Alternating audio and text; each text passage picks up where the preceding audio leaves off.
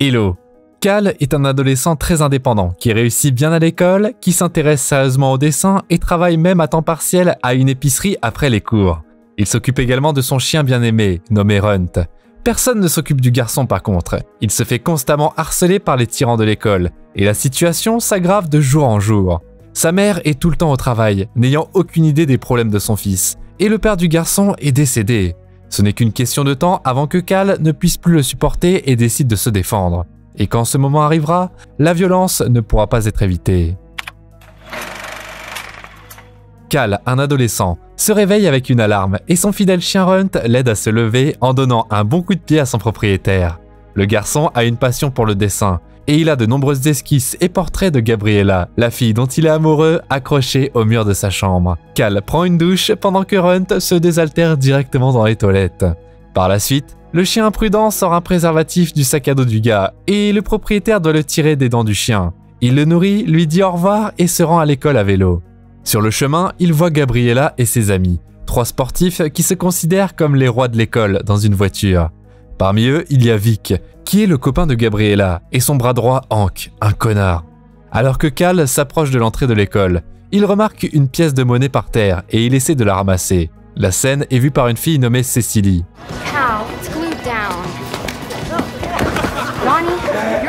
Les tyrans filment l'humiliation tandis que Cécilie aide Cal à se lever. Elle trouve un préservatif qui est tombé du sac à dos du gars et elle le cache avant que les autres ne le voient. Elle éloigne le reste. Cal entre en cours pour un contrôle. Hank s'assied derrière lui et il force le garçon à le laisser copier ses réponses avec un ami. L'enseignant se méfie des tyrans et il appelle Cal pour savoir s'il est de triche. Bien que le prof menace de baisser la note de Cal, celui-ci couvre Hank afin qu'il ne se fasse pas frapper après les cours. Gabriella se présente pour un prochain cours et Cal continue de la regarder pour terminer un autre dessin. La classe est divisée en équipes aléatoires et Cal prend la place de quelqu'un d'autre pour être avec Gabriella dans un groupe. Ils commencent à discuter du livre qui leur a été assigné, mais la fille est complètement indifférente en parlant de littérature et en parlant à Cal. Cal montre le portrait de Gabriella à son ami Borghi à la cafétéria de l'école. Il fait l'éloge du dessin, mais il dit que Cal ne peut pas le montrer à la fille, vu qu'elle sort déjà avec Vic. Cal est convaincu qu'il a une chance, et il se souvient de son père, qui a gagné l'amour de la mère de Cal en lui écrivant une chanson. Le cours suivant est art plastique, et l'enseignante fait l'éloge de Cal pour son talent. Elle note également une lettre d'invitation de Lucla, mais Cal lui répond qu'il veut étudier à Rhode Island, qui est situé de l'autre côté du pays. Cécilie s'assoit au bureau à côté de lui et entend leur conversation. Elle est surprise que Cal veuille déménager aussi loin. La fille veut demander à Cal d'être son cavalier pour le bal, mais elle est interrompue par Borghi, et Cécilie, frustrée, n'a pas le temps de poser la question avant la sonnerie. À la pause, Cal rassemble tout son courage et attrape Gabriella dans un couloir. Il lui demande si elle ira au bal, mais la jeune fille rigole juste en disant que ces événements sont nuls et que personne n'y va.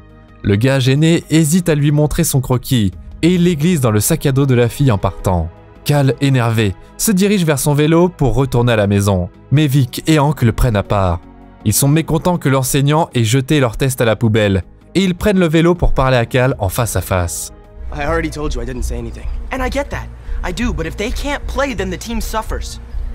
Vic explique que si ses amis n'obtiennent pas la moyenne à ce cours-là, ils seront suspendus du prochain match de football de l'équipe ce qui, à son tour, nuira aux chances de Vic de faire ses preuves auprès des agents à la recherche de talents athlétiques. Vic demande à Cal de parler au prof et de le convaincre que les deux n'ont pas triché. Mais le gars est trop énervé, et il ne veut pas s'occuper des problèmes de ses abrutis. En réponse, il le met dans un tonneau et l'envoie dans les escaliers. Par la suite, Cal se met au travail comme emballeur au supermarché. Il est en retard à cause de l'incident et son corps lui fait mal. Après une longue journée, il veut juste s'allonger et se reposer, mais Runt commence à faire du bruit, demandant au garçon de jouer avec lui. Cal ramasse sa batte de baseball et lance une balle au chien joyeux. La mère de Cal rentre tard et va tout de suite au lit. Son fils ne la voit pas du tout. Le lendemain matin, la directrice appelle le garçon dans son bureau et lui dit qu'un employé du stade a vu les joueurs le battre. L'entraîneur de l'équipe de Vic vient aussi au bureau. Dans ses mains se trouve un dessin que Cal a mis dans le sac à dos de Gabriella. Il affirme que l'artiste malheureux traque sa copine et qu'elle a déjà peur de Cal. Le gars se rend compte que ça ne fera qu'empirer s'il admet, et il nie avoir été battu. La directrice décide qu'elle n'interrogera plus les personnes impliquées dans le conflit, et elle jette le dessin à la poubelle. Pour éviter les regards et les railleries, Cal passe ses pauses dans la salle de bain.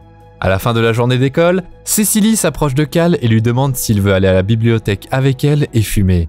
Elle l'invite aussi au bal. Cal répète la réponse que Gabriella lui a donnée. Le bal craint et personne n'y va. Correction. Nobody goes to those things to dance. Cécilie s'en va et Cal part à son travail à temps partiel au supermarché. Après avoir terminé notre journée de merde, il repère Cécilie à l'extérieur de la bibliothèque et il décide de l'approcher. Ils fument ensemble et la fille demande à Cal de l'accompagner à la maison. Ils font du vélo ensemble et ils arrivent juste devant la maison de Cécilie. Ici, le gars se détache un peu de son obsession pour Gabriella et apprécie la beauté de Cécilie. Il dit qu'elle devrait porter des jupes courtes, mais la fille répond qu'elle aime les longues et part. Le lendemain, Cal entend l'entraîneur de l'équipe de l'école essayer de convaincre l'enseignant de ne pas punir ses joueurs pour avoir raté le contrôle. Il soutient que la seule chance pour les garçons d'entrer à l'université est par la réussite sportive, et qu'ils ne devraient pas ruiner leur carrière. Plus tard, pendant les cours de littérature, Gabi s'excuse pour le comportement de son copain, et elle dit à Cal qu'elle a vraiment bien aimé son dessin. Elle dit aussi qu'elle et Vic font une fête chez lui ce week-end, et elle invite Cal à venir. You should come and show him that none of this even bothers you. Sweet, can I go?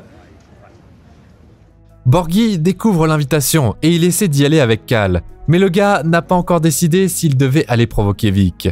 Après les cours, les amis vont ensemble à la campagne pour tirer sur des cibles avec un revolver, où Borghi continue de dire à Cal qu'il a enfin gagné l'attention de Gabriella et qu'il ne devrait pas manquer sa chance.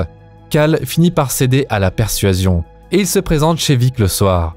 Il voit les invités boire et faire la fête et consommer tout genre de substances, à la fois légales et illégales. Gabriella salue Cal et complimente la robe de Cécilie, qui s'est également présentée à la soirée. Cal fait plus attention à Cécilie et Gabi s'en va.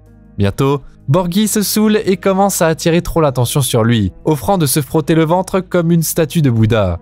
Pour éviter de subir cette scène, Cécilie et Cal sortent pour prendre l'air et parler un peu. C'est là que Vic et ses potes les remarquent. Ils harcèlent le couple et Vic commence à interroger Cal sur le dessin. Les tyrans poussent Cal dans le coffre d'une voiture et Vic commence à tâtonner Cécilie, rétablissant, d'après lui, la justice.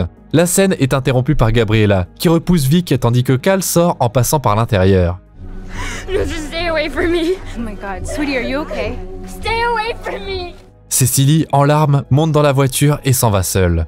Le lendemain, Borghi s'excuse de ne pas avoir pu défendre son ami. Cal doute qu'il ait pu l'aider. Ils se disputent et Borghi critique Cal, car il ne s'est jamais battu contre ses agresseurs. En réponse, le gars joufflu entend que Vic et ses copains le voient comme une risée, aussi, au lieu de l'un des leurs.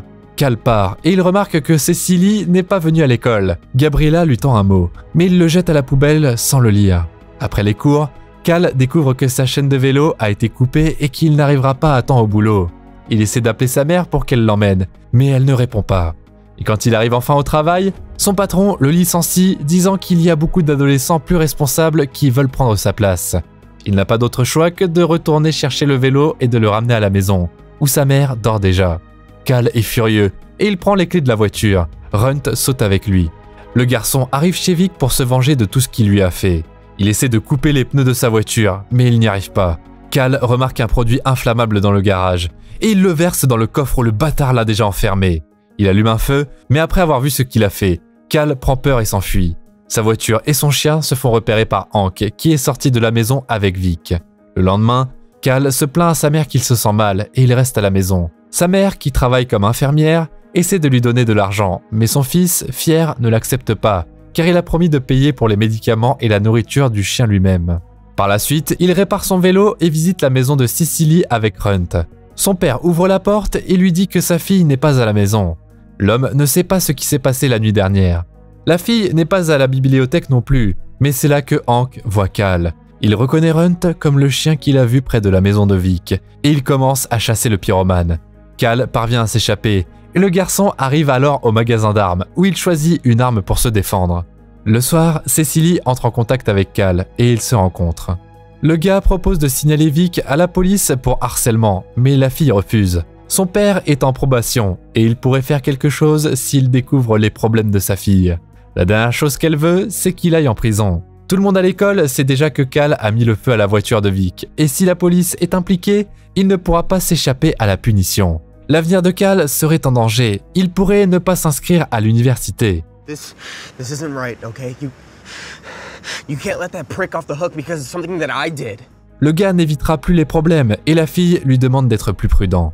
À l'école, Borghi rencontre son ami, essayant de se réconcilier avec lui. Il s'avère que c'est lui qui a coupé la chaîne du vélo parce qu'il était très en colère. Après une longue journée, Cal est le premier à sortir du cours après la sonnerie, pour éviter de tomber sur Vic et sa bande. Mais il le rattrape quand même sur le parking et il commence à le battre. Une foule se rassemble autour d'eux, alors Cal commence à se battre avec le poing américain qu'il a acheté. Il parvient à se défendre avec pas mal de succès, mais étant un combattant inexpérimenté, il se fait rapidement dépouiller de son arme. L'enseignant intervient, donnant à Cal le temps de s'échapper. Le gars boite jusqu'à la maison, mais il est fier de s'être battu contre les tyrans après tout. Soudainement, Ronnie et sa bande s'arrêtent et lui demandent de monter dans une voiture. Il déteste Vic aussi, et il apprécie le gars qui a défié le salaud. Après avoir donné à Cal le surnom de Fou Furieux, il le raccompagne chez lui et l'invite à aller au bowling ce soir. Là, Ronnie raconte comment son père a combattu la dépendance de son fils en pulvérisant ses substances avec un agent nettoyant. Cette méthode a eu un lourd impact sur la santé de Ronnie et il a dû passer beaucoup de temps à l'hôpital. Il invite Cal à continuer la soirée, mais le gars ne s'intègre clairement pas et décide de passer du temps avec Cecily à la place. Il l'appelle pour une promenade, et quand il rentre à la maison, la fille attend déjà à la porte, jouant avec Runt. You always pay such close attention when your dog takes a dump. He has a condition. Cal a recueilli le chien errant solitaire, et il a pris soin de lui depuis. Cecily demande comment s'est passé le bowling, et Cal répond que c'était amusant, mais qu'il aurait préféré passer son temps autrement. Il entre dans la maison, et Cecily redonne son point américain au garçon. Elle lui dit que Vic s'est blessé à la main dans le combat, et que l'entraîneur de l'équipe était furieux contre lui pour ça. Cal a peur d'avoir des ennuis, mais Cecily l'embrasse et promet de toujours le soutenir. Et si Vic fait une autre bêtise, ils auront sûrement leur revanche. Le jeune couple regarde un film, et Runt devient jaloux et commence à pleurnicher. Ça devient très distrayant, et Cal emmène le chien à l'extérieur. Les ados s'endorment blottis sur le canapé. Le matin, Cal se réveille plus tard que la fille, qui a déjà jeté un coup d'œil dans sa chambre et a vu d'innombrables portraits de Gabriella. Elle les trouve beaux et le félicite, mais Cal arrache les dessins du mur et les froisse. Cecily trouve également une lettre de l'université de Rhode Island. Cal ne l'a toujours pas ouvert, car il ne voulait pas contrarier la fille avec la nouvelle de son départ. Le gars l'ouvre devant Cecily, et il lit qu'il a été rejeté, bien que ça ne le contrarie pas du tout. Il est temps pour la fille de rentrer à la maison. Alors Cecily donne un tendre baiser d'adieu à Cal. Elle s'en va et le garçon réalise soudainement qu'il ne peut trouver Runt nulle part. Dehors, il trouve une batte tachée de sang et il comprend que l'irréparable s'est produit. Le corps sans vie du chien se trouve à proximité, dans une poubelle. Cal, désespéré et le cœur brisé, enterre son ami et se précipite à l'école pour affronter Vic. Le joueur de football américain nie tout avec une poker face, mais Cal ne le croit pas. Toute la journée, le gars ne remarque personne autour de lui, suivant Vic pour le surprendre dans un mensonge. Cécile lui demande d'arrêter de l'ignorer. Elle demande des réponses à Cal et elle se rend compte de ce qui s'est passé.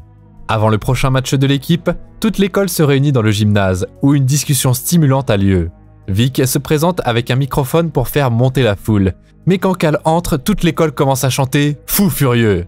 Conscient du conflit, il se range du côté de Cal et pousse le gars au centre de la salle. Vic lui demande de sortir, mais Cal refuse et lui suggère de le forcer à le faire.